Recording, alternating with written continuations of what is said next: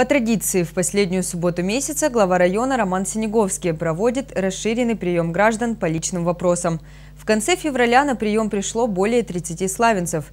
Некоторые вопросы удалось решить на месте. Остальные обращения требуют детального рассмотрения.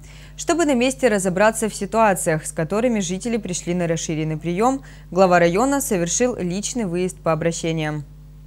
Во время расширенного приема к главе района обратился житель улицы Безымянной Юрий Пономаренко. Проблема – аварийное состояние дороги. В дождливую погоду пройти по ней сложно. Везде ямы и лужи. Оценив ситуацию, глава района Роман Синеговский дал поручение службам дорогу восстановить. Работы должны быть закончены уже в июне текущего года. Состояние дорог волнует и жителей микрорайона Кубрис.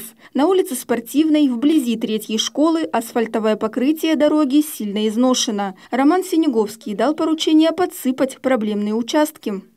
Мы будем очень Ну только давайте мы договоримся к осени, потому что у нас пока там бригады, пока там, пока там. Ну хорошо, точно к осени? Да.